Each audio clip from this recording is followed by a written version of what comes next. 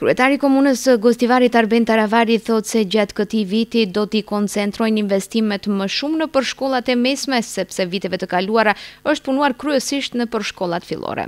Pas vizitës në shkollën e mesme të mjekësisë, ai e vizitoi sot edhe shkollën e mesme të gjimnazit në Gostivar për të parë nga afër punët që janë realizuar në drejtim të përmirësimit të kushteve për nxënësit, ndërsa paralajmëroi edhe investime kapitale për periudhën në vijim, përfshirë këtu edhe katër kabinete të reja që janë të një rëndësie të veçantë për mësim kualitativ. Në gjimnaz konkretisht ka investime më të vogla, por planifikojmë t'i bëjmë katër kabinete të reja,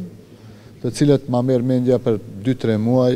për gjysëmvjetërin e ardhshëm do të munden nxënësit t'i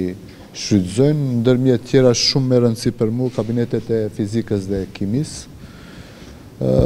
Këtu kemi bërë ndriçimin, ndryshimin e disa pllakave, pregaditjen e një sale për konferenca të nxënësve, mandej një kabinet të cilin veç kanë nis ta pregadisin me mjete vetanake shkolla e mesme e gjimnazit e cila do shërbej si kabineti i gjuhëve. Drejtori i shkollës së mesme të gjimnazit, Mirsat Izeini, uroi që të kthehen nxënësit në shkollë dhe mësimi të vijojë me prezencë fizike, ndërsa për investimet e realizuara dhe ato që pritet të bëhen në vijim, e falenderoi Komunën e Gostivarit për mbështetjen, por edhe donatorët e ndryshëm. Para se me erdh tu me kryetarin, u lutëm që s'pari të na kthehen nxënësit, se nëse ato nuk janë atëherë, çdo investim janë i bje nukë. Para kjo ishte lutje e parë, ndërsa për atë se çfarë kemi bë, thjesht kemi ndjek pikat që është më kyçe, kishim do këshila nga inspektorati sanitar për ndrimin e atyre linoleumeve të vjetra,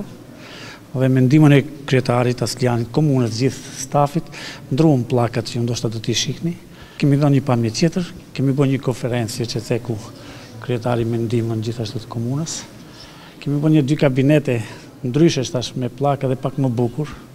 Ndërkaq, udhëheqësja e sektorit të arsimit në Komunën e Gostivarit, Aslijan Snopçe, tha se raportet me Ministrinë e Arsimit janë përmirësuar dhe se për këtë vit kanë konkurruar me gjashtë projekte kapitale për të cilat shpreson se do të fitojnë mbështetje financiare. Kemi apliku